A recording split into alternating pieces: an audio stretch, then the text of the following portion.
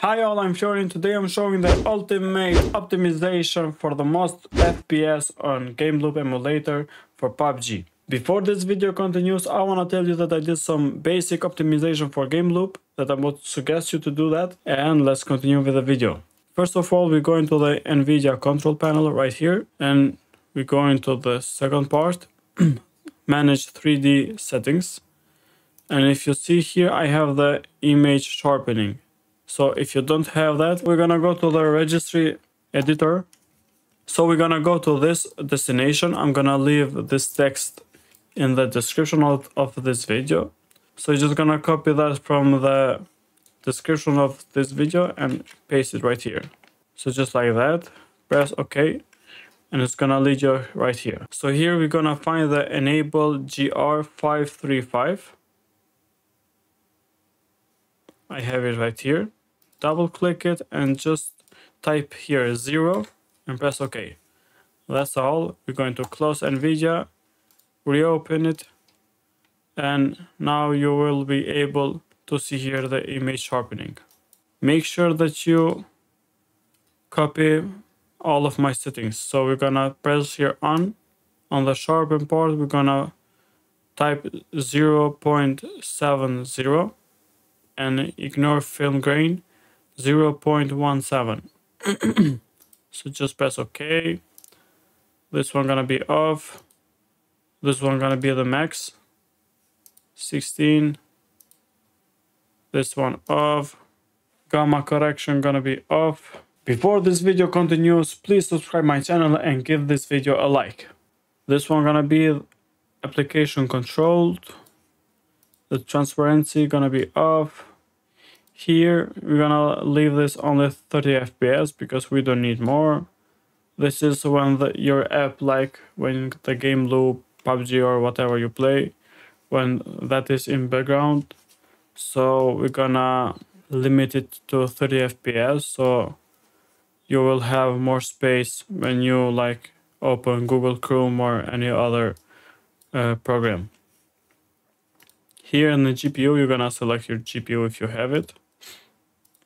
Here in the DSR factors, we're gonna turn on all of that, what you have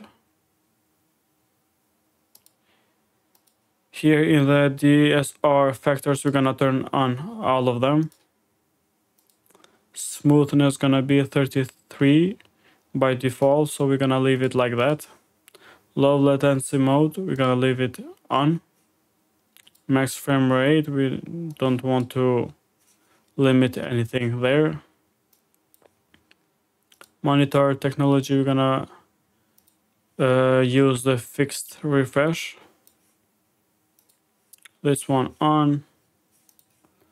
Auto, auto select, power management, we're gonna leave it normal.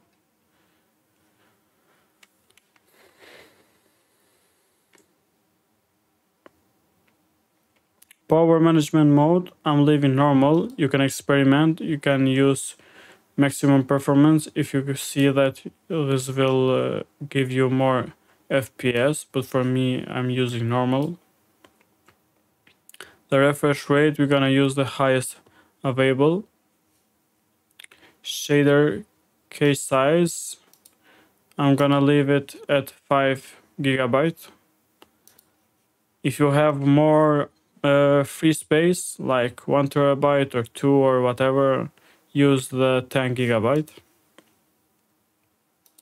We're gonna use this one on, this one clamp, the quality, we're gonna use the performance, this one on, auto, off, use the 3D application settings, one, adaptive and auto. Here to the change resolution, you normally will have this one and this one.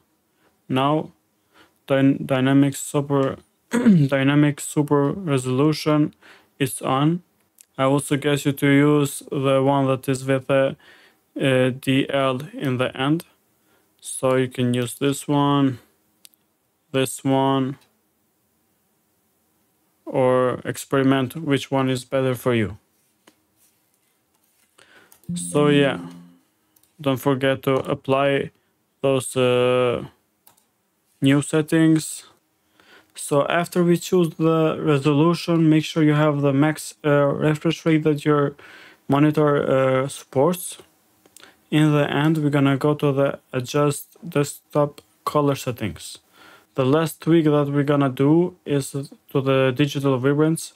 We're gonna make this 70 so this is the last part that we're gonna change it so what this setting is gonna do uh, this is gonna give you more stable fps and uh, above the screen uh, you will see the enemies more sharper and more with colors and it's gonna be much much smoother gameplay for you Try it out and let me know if it helps you in the comments.